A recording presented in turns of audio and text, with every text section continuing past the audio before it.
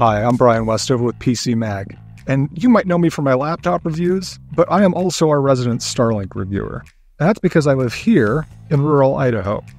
There aren't a lot of local internet options here that can do what I need to work remotely, to stay connected with all of my technology, and that's why I have Starlink Internet. See, I'm not just a reviewer, I'm also a satisfied customer. Let's talk about the five things you need to know about Starlink Internet. Starlink is a satellite internet service provided by SpaceX. It provides broadband speeds almost anywhere in the world that has a clear view of the sky.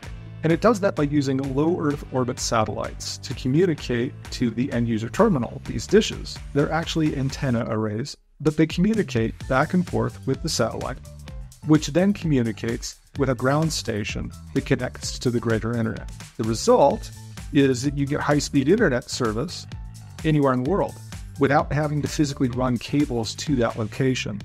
This means that it can connect people in very diverse locations, whether that's farms or mountains or travelers on the go. It can even connect boats in the water and airplanes in the sky. One of the great things about Starlink's satellite based service is that it's available all over the world, across North America. It's available in Alaska, even Hawaii, Canada, in Mexico, South America, much of Europe, big parts of Asia, all across Australia. Essentially, you can get Starlink internet almost anywhere in the world, provided there's no legal restrictions in your country. This is particularly beneficial in remote areas, such as rural communities, wilderness locations, anywhere that traditional cable and fiber internet just aren't available and won't be due to lack of infrastructure. If you live in a place lacking modern internet connectivity, Starlink is a great solution. If you're considering Starlink, there are two main expenses to keep in mind. The first is the cost of initial setup. You're going to need to buy your standard Starlink installation kit, which includes the dish, router, and cables, as well as any sort of mounting hardware you might need, whether that's a rooftop mount, pole mounts. Uh, there's a whole list of them we have on our website. But you'll also need to consider the monthly expenses. Now, Starlink is not a contracted service. So you're not locked into like a two year contract where you are with a phone. Instead, you pay from month to month. In my two plus years with the service, pricing has gone up a little bit since when I started, but it has been holding steady at $120 per month for well over a year now. For those that need more robust connectivity, though, such as for a business or connectivity on the go, like in a moving vehicle or on boat, Starlink has special plans for those considerations. There's a business plan, an on the go mobile plan, but both of those are considerably more expensive. So if you're a home user or are going to be staying in one spot, the residential plan really is the best one for you. What kind of speeds can you expect? Virtually anywhere in the North American region, you can expect consistent download speeds of 100 megabits per second or more, and upload speeds of 20 megabits per second or higher.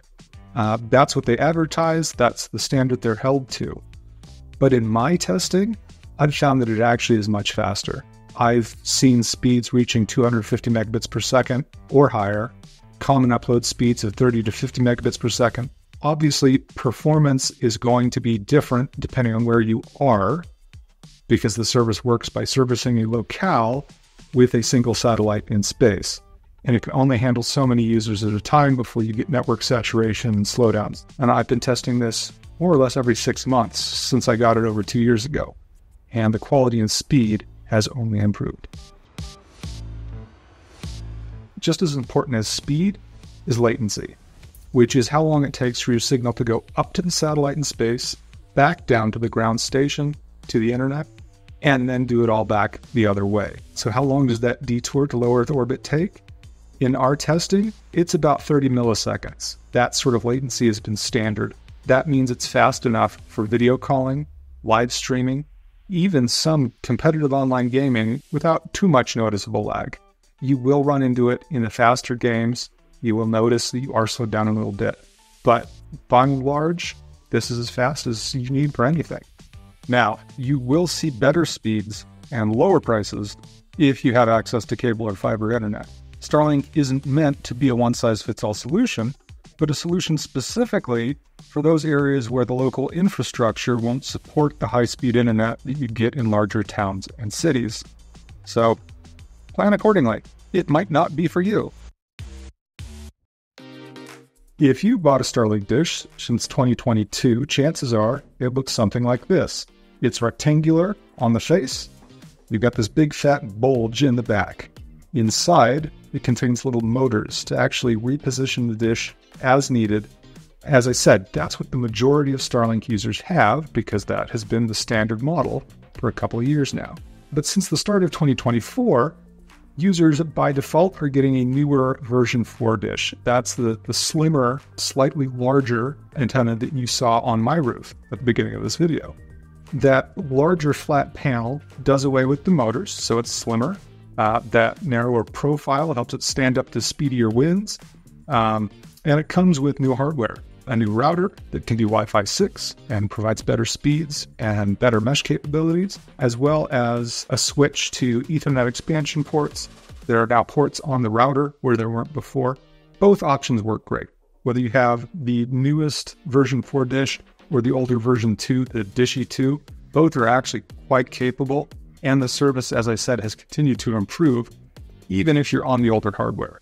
If you have the older hardware, it's not yet at a point where it's worth upgrading for the speed bump.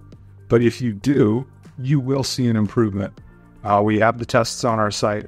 It's a noticeable, measurable improvement just going from dish to dish. Because the current hardware is great, it actually does provide higher download speeds, faster upload, uh, and reduced latency. So you get faster, smoother performance just from the hardware switch. But regardless of whether you have the older hardware from 2022 or the current 2024 model, Starlink has proven itself to be a very reliable service uh, that has only gotten better over time.